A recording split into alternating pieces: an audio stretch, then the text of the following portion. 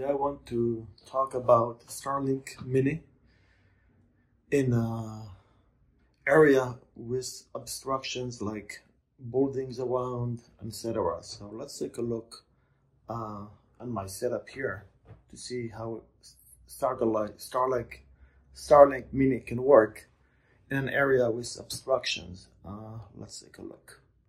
As you can see here, this is the Starlink Mini it's set in an angle. The reason of the angle, we want to pick up clear sky, which will be here, not facing here or here, which will be the ceiling.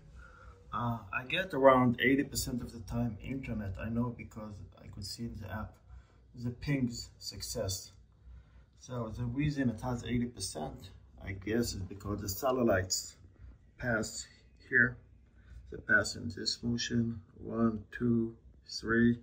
When the signal will be blocked by the building, so it won't be, it won't work. That's why I have 80% success of the signal.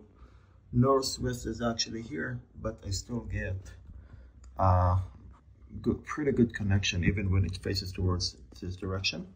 Let me show you how it looks in the app.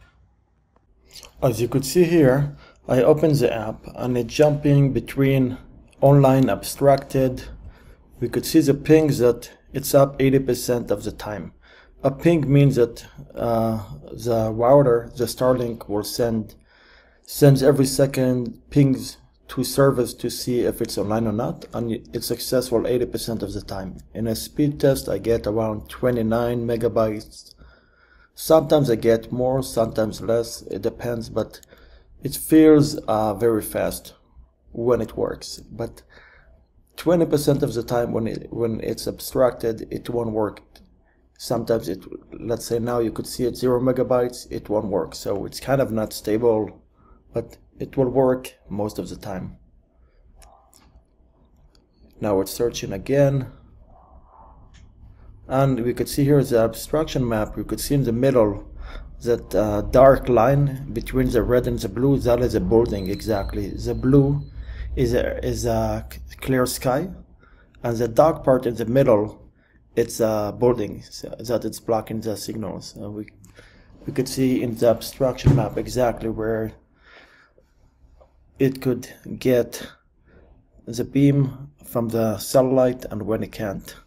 Here it's continued to hopping between uh, online and offline. Now it's very slow, but you get the idea. Uh, one last note, uh, recently it seems like Starlink uh, has a promo that if you join with a link, you get one month free for the service. I will put my link below. If you're considering to join Starlink Mini uh, and you join with a link, you'll get one month free. I get one month free as well, but Uh, I heard about it only last week. My friend contacted me, told me, hey, could you send me a link? I'm like, which link? But turns out this promo is going on. All right, thanks for watching. Uh, have a good one. Bye.